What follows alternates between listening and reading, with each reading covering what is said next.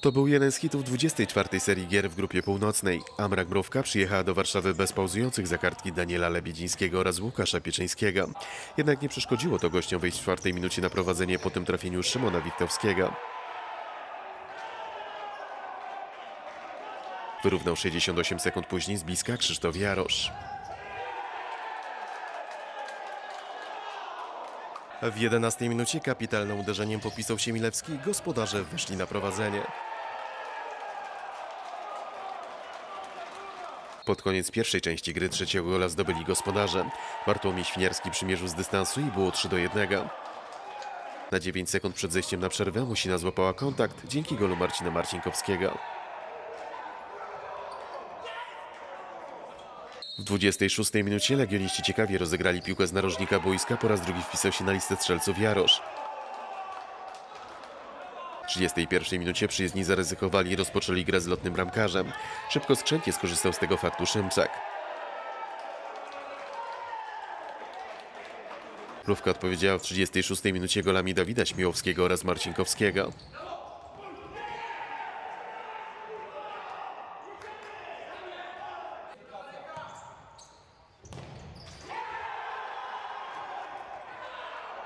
Sytuację uspokoił dopiero w 40 minucie Szymczak.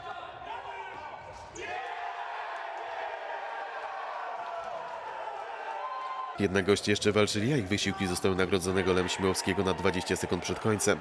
Wyrównać już się jednak nie udało.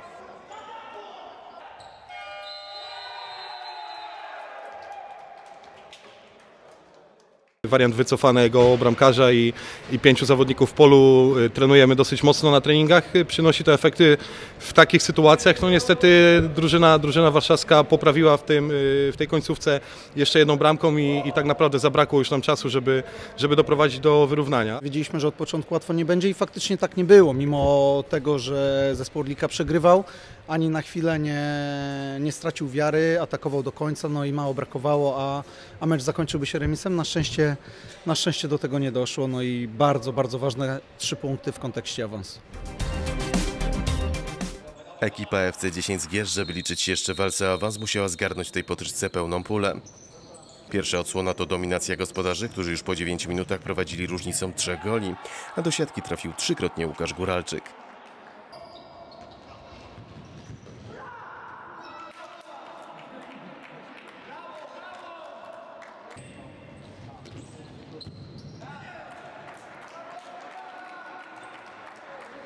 20 minucie na 4 do 0 podwyższył Emil Młynarczyk. Tuż po przerwie piątego gola dla gospodarzy zdobył Arkadiusz Błaszczyk i chyba tylko niepoprawni optymiści wierzyli, że Szczecinia nie będą w stanie odwrócić losy pojedynku. W 24 minucie gola co prawda zdobył Karol Ława, ale szybko na 6 do 1 trafił Błaszczyk.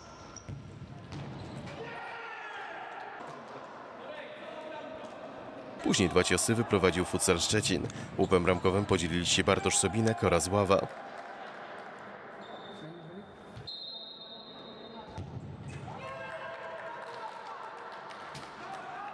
Później w ciągu 60 sekund do siatki trafili Filip Kopostrowski oraz dwukrotnie Ława.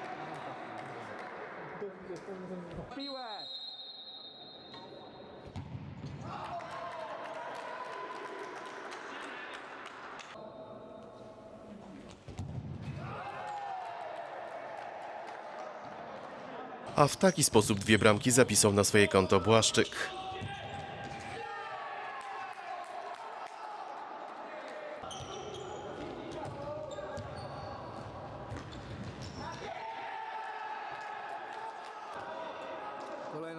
Ale dwa gole fenomenalnego ławy dały przyjezdnym jeden punkt.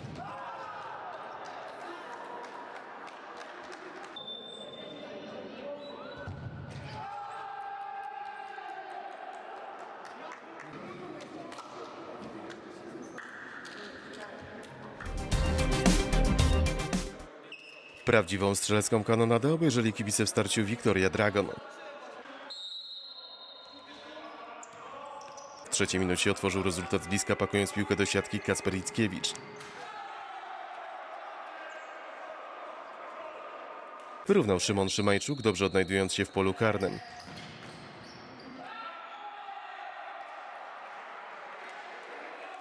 W piątej minucie po tej składnej akcji Bojano ponownie prowadziło po golu Macieja Osłowskiego.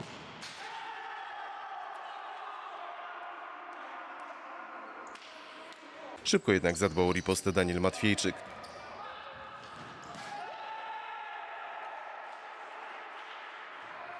A w ósmej minucie na 3 do 2 trafił Szymajczuk.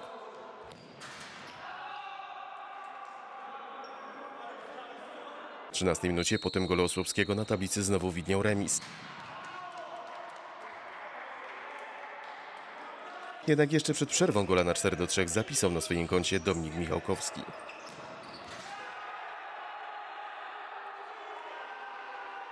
Krótko po zmianie stron po raz kolejny wpisał się na listę strzelców Szymańczuk.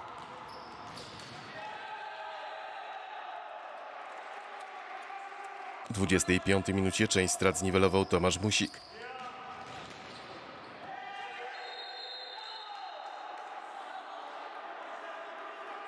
Jednak 60 sekund później Michałowski znalazł sposób na pokonanie golkipera. A tak trafił do siatki Michał Madej.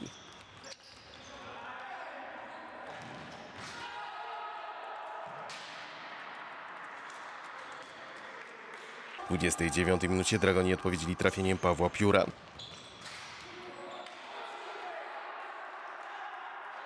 A w 38 minucie szóstą bramkę dla Bojano strzelił Osłowski.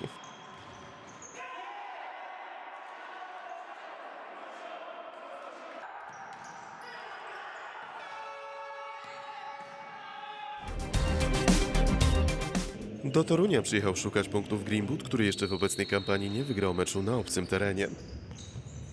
Zaczęło się sensacyjnie, bo w piątej minucie po błędzie defensora do siatki trafił Kacper Woźny.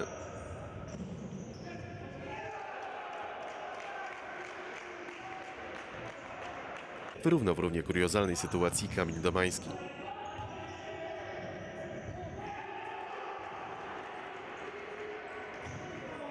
Ósmej minucie było już 2 do 1 dla miejscowych, a kontrę wykończył Michał Kukowski. Taki wynik utrzymał się do drugiej połowy. W 24 minucie Torunianie ponownie pogubili się w defensywie, a Mikołaj Bereźnicki mocnym uderzeniem trafił na 2 do 2.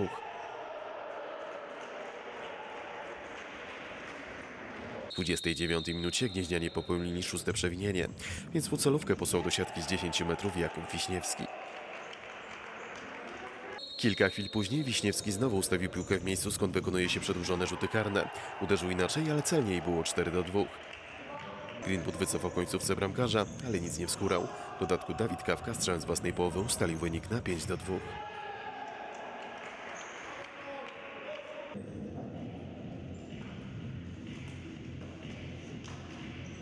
No niestety jesteśmy taką drużyną, która lubi grać na kontakcie i gdzieś to nam się później odbija, że w przeciągu 7 minut łapiemy już 5 fauli, nie? I wtedy to już jest niestety każdy kontakt, no to przeciwnik szuka e, faulu i no, jak sędziowie dojadą, to, to, to mogą gwizdać, nie? A jak nie dojadą, no to dzieje się tak jak dzisiaj. Dzisiejsza nasza podstawa, e, no, no, no, no, co tu dużo mówić, no, nie powinno być tak jak było, no. Grad bramek zafundowali swoim kibicom zawodnicy Wymetu oraz futsalu Oborniki. Szybko na dwubramkowe prowadzenie po trafieniach Artura Formeli oraz Wyciecha Dobka wyszli gospodarze.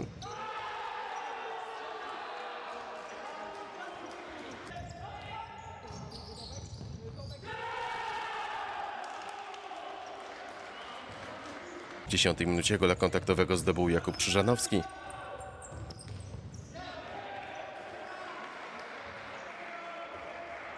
15 minucie odpowiedział Bartosz Stencel.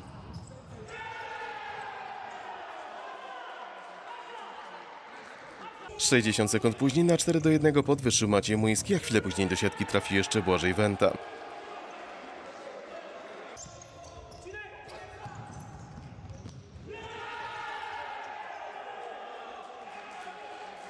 Dzieła zniszczenia dopełnił przed przerwą Stencel, więc w Sierakowicach pachniało pogromem.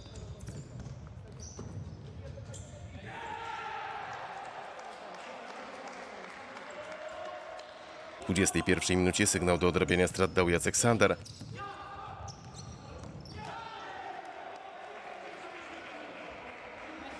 Cztery minuty później Młyński znalazł sposób na pokonanie golkipera.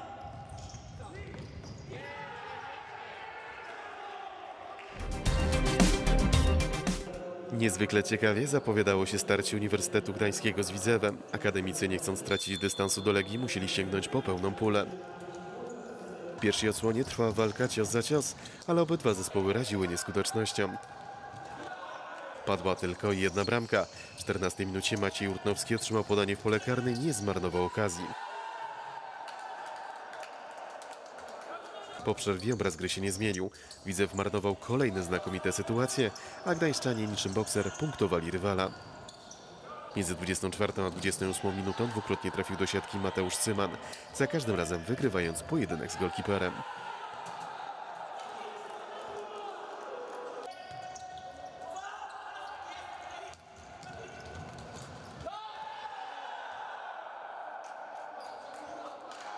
Łodzianie, nie mając nic do stracenia, wycofali bramkarza. W 35 minucie piłkę posłał do ich bramki Wojciech Pawicki. Po chwili gola zdobył Mateusz Osiński.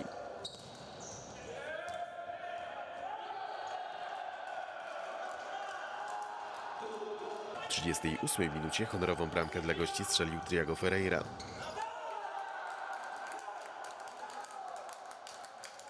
Natomiast wysokie zwycięstwo AZS-u przypieczętowali Cyman oraz Iwo Gerle.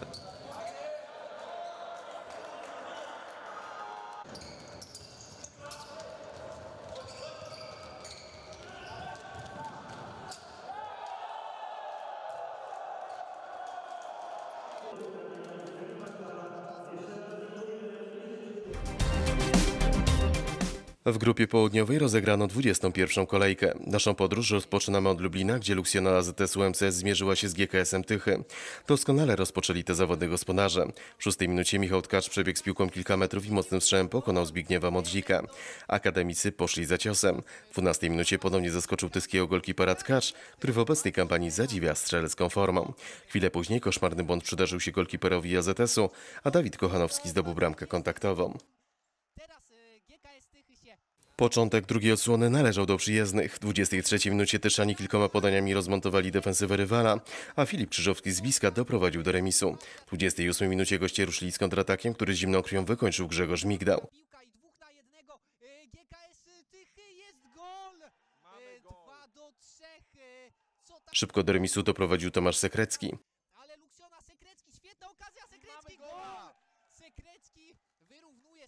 Jednak już w 32 minucie ponownie dał prowadzenie GKS-owi Paweł Lisiński. Czasem Tychy będzie gol i jest y, bramka. Parzyszek y, Jeden punkt dla Lublinian uratował Tkacz, kompletując hat-tricka. Sam na sam, to musi być bramka Michał Tkaczy, połowy bramka za gol! Gol Michał Tkaczy, ale Parzyszek wznawia jeden koniec, nic tu się nie wydarzy. Luksjona po naprawdę emocjonującym. GKS jako musiał pokonać gwiazdę. Zaczęło się planowo, bo w 11 minucie sposób na rozmontowanie ludzkiej defensywy znalazł Bartosz Musiał. Chwilę później prowadzenie Nowin podwyższył doświadczony Arkadiusz Lekki. Halembianie zdołali odpowiedzieć golem Sylwestra Gładkowskiego. W 14 minucie błysnął snajperskim nosem Paweł Markowicz i było 3 do 1. Jednak jeszcze przed przerwą gola kontaktowego zdobył Bartosz Siadul. Krótko po zmianie stron na 4 do 2 trafił wszędobylski Lekki. W takich okolicznościach skompletował hat-tricka lekki. W 30 minucie część strat zdołał odrobić Siadul. W 31 minucie Gwiazdorów starał się jeszcze poderwać do walki Gładkowski, ale ostatnie słowo należało do Nowin. Na 3 minuty przed końcową sereną wygraną gospodarzy przypieczętował Markowicz.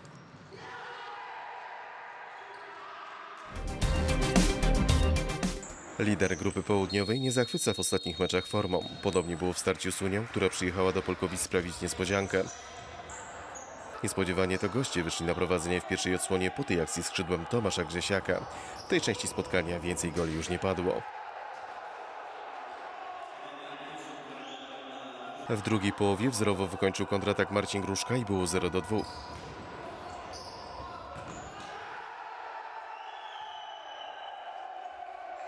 Gola kontaktowego zdobył Radosław Karpiński.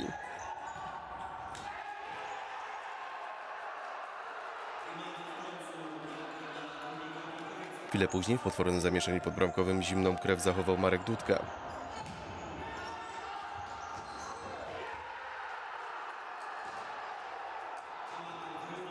Kiedy wkrótce Maksym Panasenko trafił na 3 do 2, wydawało się, że miejscowi złapali właściwy rytm.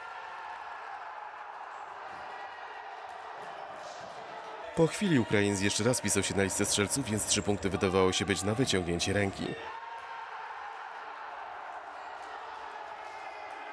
Nic bardziej mylnego. Obydwa zespoły nie wykorzystały po jednym przedłużonym rzucie karnym. Goście wycofali bramkarza i w krótkim odstępie czasu doprowadzili do remisu.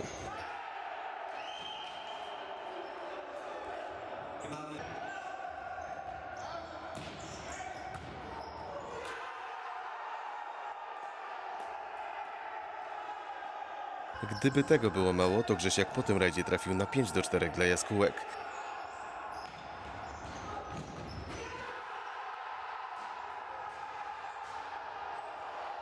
A ta bramka Wojciecha Przybyły zmroziła wielu polkowickich kibiców.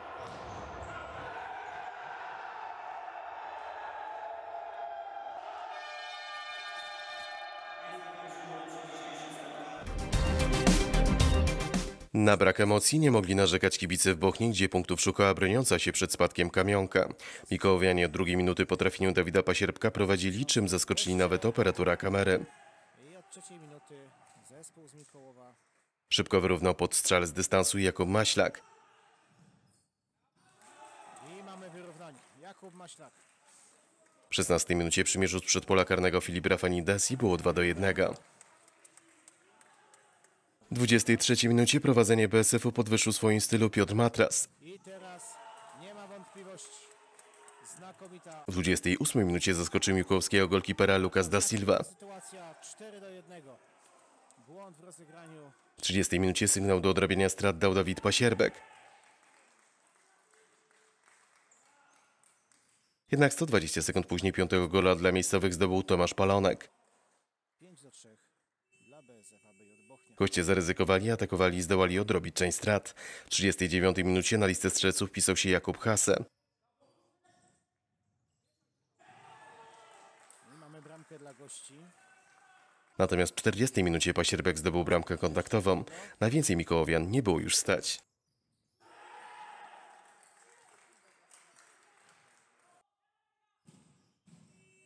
Udało się. Gospodarze dotrzymali prowadzenie, prowadzili 5 do 2. Derby zawsze rządzą się swoimi prawami. Po tyczce Hejrostal emocji nie brakowało. W piątej minucie Rzeszowianie prowadzili po golu Michała Gąsiora.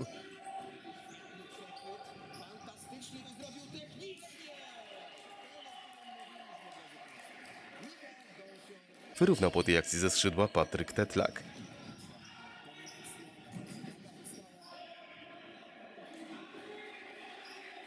14 minucie kropnął w same widły Sebastian Pawlak i było 2 do 1.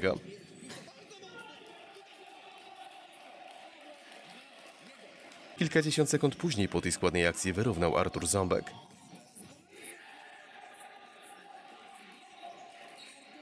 Chwilę później goście wyszli po raz pierwszy na prowadzenie po tym samobójczym trafieniu Pawła Hadego. Miejscowi do remisu doprowadzili dopiero w 28 minucie, kiedy na listę strzelców wpisał się Bartłomiej Przybyło.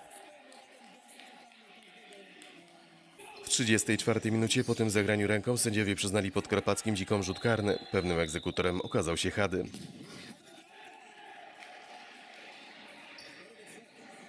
Jeden punkt zapewnił Milecki stali Tetlak, trafiając na 4 do 4.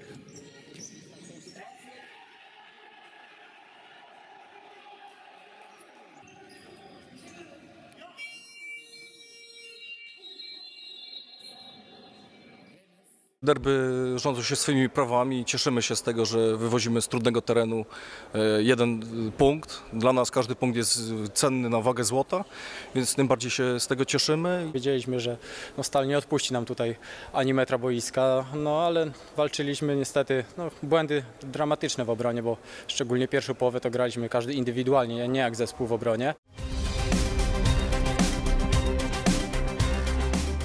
W grupie północnej Legia pokonała Mrówkę i ma punkt przewagi nad Akademikami z Gdańska. Ci wysoko grali u siebie Widzewa.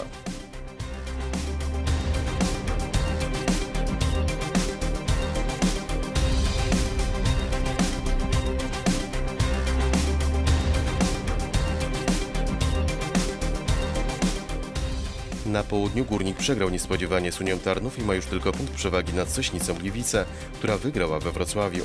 Potknięcia Polkowic nie wykorzystała Luksjona.